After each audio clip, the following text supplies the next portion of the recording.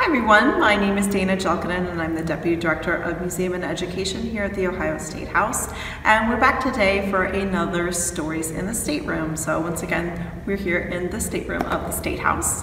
Um, and today we are going to be reading a, a, lovely book called Packard Takes Flight by Susan Sachs Levine. Um, and this book will kind of give us the opportunity to go visit some of our favorite places in Columbus um, that we can't necessarily go to in person right now because they're closed um, due to the COVID-19 crisis. So it's kind of a nice way to remind ourselves of some of the really great places that we have that we can see here in Columbus.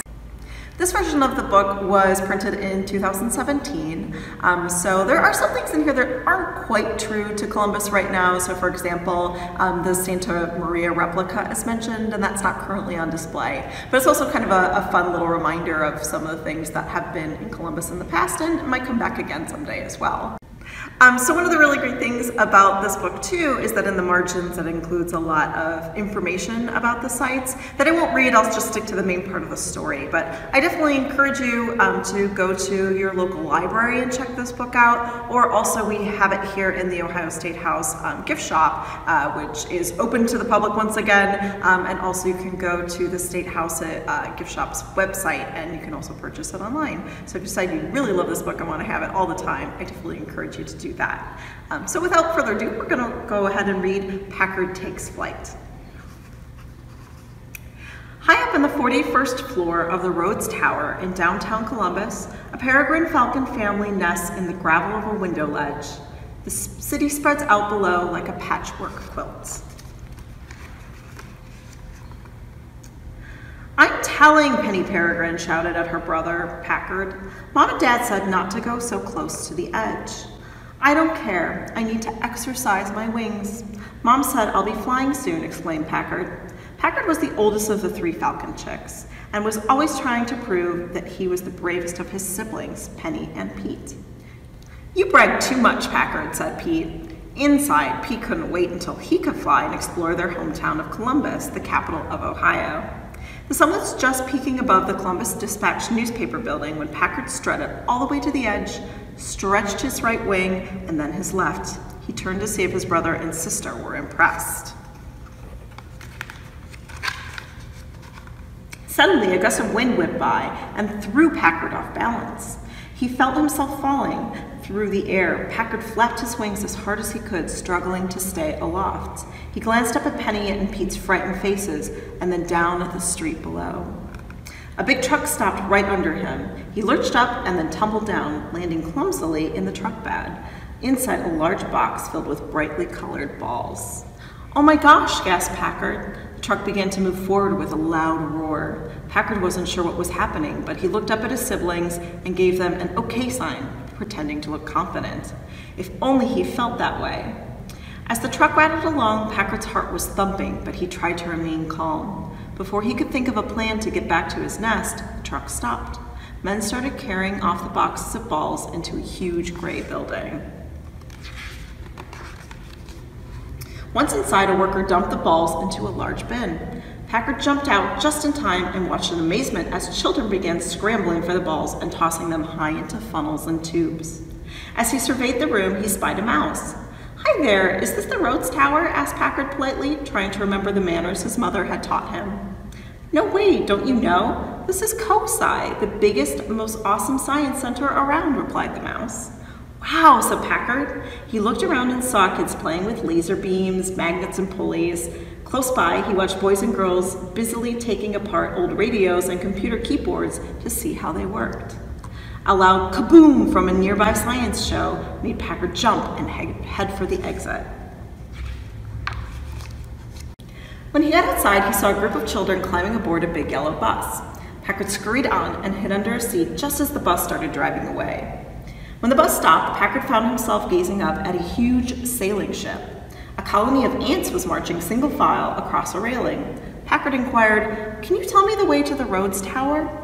I have no knowledge of that place, sir. This is the Santa Maria, sir.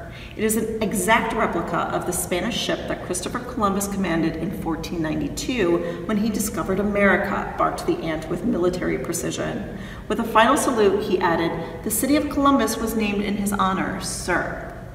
At ease, soldier, responded Packard as he climbed on board. After pecking around in the galley area and sleeping quarters on deck, he looked up at the huge mast, sail, and crow's nest. Packard could not resist climbing up the rope ladder. At the top, he looked down over a glassy blue-gray river. To the north, Packard could see a diamond-shaped field, and farther on, a horseshoe-shaped stadium. To the south was a beautiful park with a giant fountain. Oh, how his heart ached suddenly. The river reminded him of his mother. She would leave the nest every day to clean her feathers in the Scioto River. This must be the place, but to Packard's disappointment, she was nowhere to be seen. Trying to muster his courage, got off the ship and jumped into a police car while the officer was not looking. Perhaps he is going to the Rhodes Tower, thought Packard. When the car stopped, he found himself at the entrance to a tree-filled courtyard. A squirrel sat in the middle of a curious-looking tea party, nibbling a nut. Can you tell me if this is the Rhodes Tower? asked Packard. Non, monsieur, you are mistaken. This is the Columbus Museum of Art, home to the masterpieces from around the world. Entrez, s'il vous plaît, and your senses will be awakened, beckoned the squirrel in perfect French. Well, that might cheer me up, thought Packard. Inside, Packard entered a big room with magnificent paintings. His favorite was a woman with a big red hat and a face as emerald green as leaves on the trees below his nest. Oh, my nest, thought Packard sadly. In front of the museum, a family was climbing into a taxicab. Packard sneaked inside, sure they would be going to the Rhodes Tower. Instead, they arrived at a big building with a glass roof. Inside was a beautiful jungle of plants, trees, and flowers. He saw a sign that read Franklin Park Conservatory. A conservatory, awesome, thought Packard. Moments later, Packard entered a magical room with butterflies, a waterfall, and giant goldfish swimming in a pond. In the middle of the room was the most magnificent tower of orange glass Packard had ever seen. A plate of fruit where several butterflies were eating caught his eye and made him realize that he was getting very hungry. He must find his way home. Outside, a city bus pulled up and Packard flapped his way on, hiding under the big skirt of a woman next to him. Hoping the bus was going to the Rhodes Tower, he crossed his wingtips for good luck. They were heading toward the tall buildings of downtown. Packard was hopeful. They passed a beautiful park that had figures of people made out of velvet green bushes. That looks like a fun place to play if I ever get out of this mess, Packard thought to himself. The bus stopped in front of a building that had a big rooster on the outside. A black and tan beagle was tied to a post. Excuse me, but do you know the way to the Rhodes Tower? asked Packard for what seemed like the hundredth time. What's it smell like? asked the beagle. I can sniff out a rabbit a mile away. Seeing Packard's disappointed face, he added, This is the North Market. Go on in, there's food galore. I'm starving, thought Packard as he dashed inside.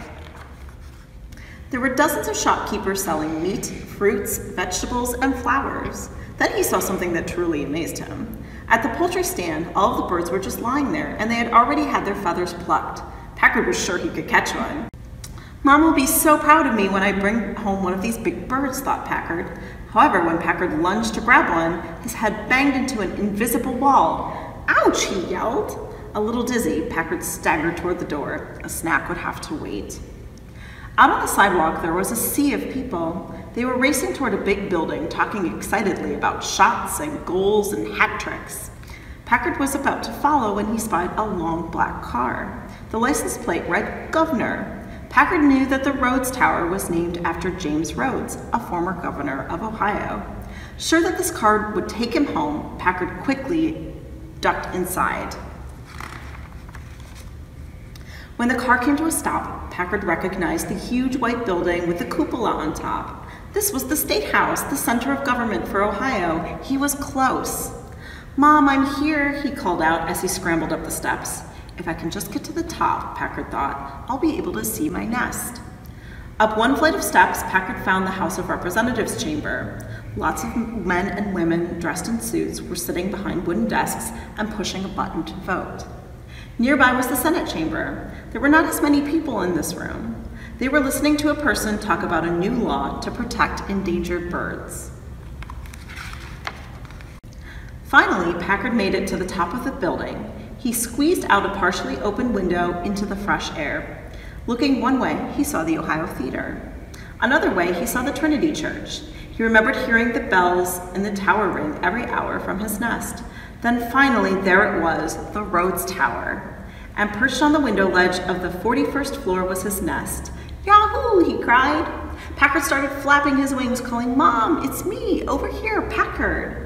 All of a sudden, he looked down and realized he was no longer standing on the windowsill. But he wasn't falling either. He was flying. With all his energy, Packard flapped his wings wildly and started to make his way toward the Rhodes Tower and his family.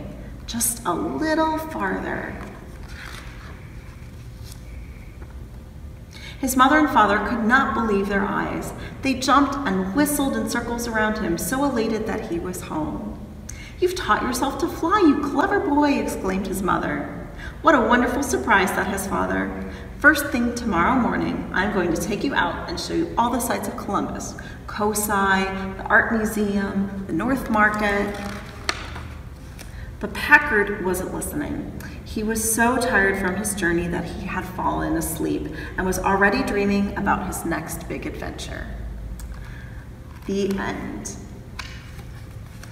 So I hope you enjoyed Packard Takes Flight. Um, obviously, it features the Ohio State House, so that's very exciting for us here in this building, um, and lots of really cool, fun uh, spots in downtown Columbus. So I definitely encourage you to check this book out. As I mentioned earlier, you can either find it at your local library, or also we have it here at the Ohio State House in our museum shop. So thank you all so much for joining us today for our Stories in the Stateroom, and we'll see you next time.